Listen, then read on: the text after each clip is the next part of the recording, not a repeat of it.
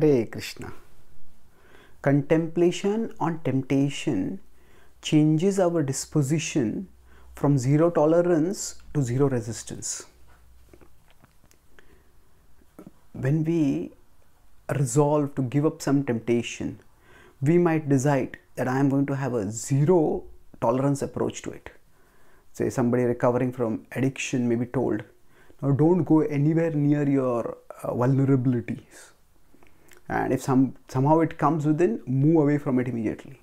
So a zero tolerance approach means that where there is danger we don't give any scope for the danger to ambush us. And this is the safest approach.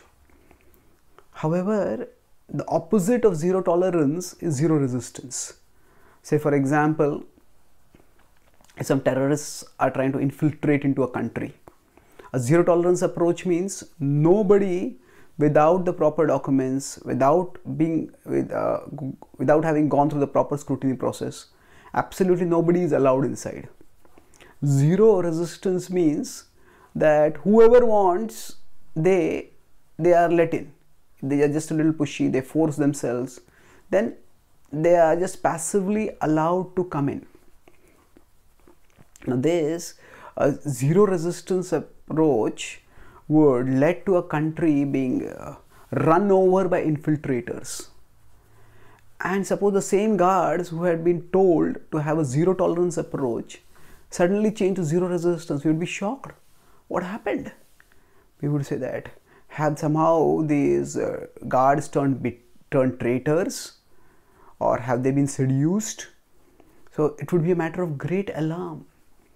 So, if we consider our consciousness like the territory to be guarded, then we often, with our intelligence, guard the territory of a consciousness and decide that we will have a zero tolerance approach toward our indulgences. Unfortunately, uh, when the temptation comes up, the temptation seems so attractive, and if we contemplate on it, suppose some uh, infiltrators are very sweet talkers and they talk so sweetly that the guards voluntarily put down their guns and welcome the infiltrators. So we would consider such guards foolish and such infiltrators who can sweet talk so so, so seductively will be considered very dangerous. So temptation is like like that seductive sweet talker. When temptation comes in front of us, if we start contemplating it, then that contemplation uh, it erodes our defenses. We start thinking oh this is so enjoyable. Why should i not indulge in it? And thus we give in.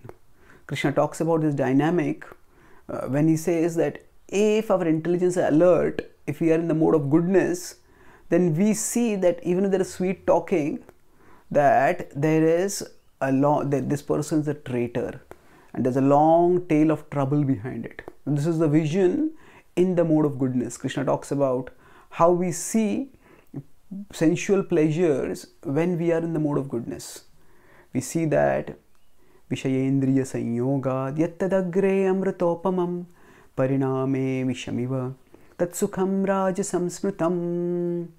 We see that that although there is an initial nectar, that is like the sweet talking person, but this person has a knife. They're going to stab me from behind once I let lower my guards. So pariname vishamiva.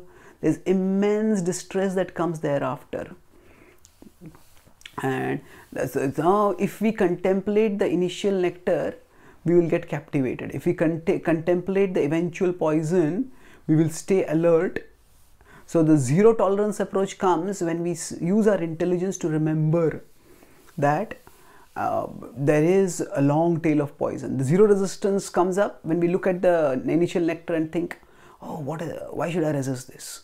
So, if we contemplate the senses, Krishna says in 2.62 and 63, what happens is ध्यायतो विषयान् पुंसः सङ्गस्तेषुपजायते सङ्गात् सञ्जायते कामः कामात् क्रोधो विजायते क्रोधात् भवति सम्मोहः सम्मोहात् स्मृतिविभ्रमः so, ಬುದ್ಧಿನಾಶೋ ಬುದ್ಧಿನಾಶಾತ್ ಪ್ರಣಶ್ಯತಿ ಸೊ ಬುದ್ಧಿನಾಶಾತ್ ಪ್ರಣಶ್ಯತಿ destroys our intelligence.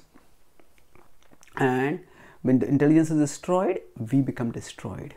So we need to not contemplate on the initial electro sense pleasure but at all if i do contemplate we don't uh, dwell don't look at the sense pleasure but with our intelligence remember the consequence the eventual poison and then we can maintain the zero resist zero tolerance approach and guard ourselves. Thank you. Hare krishna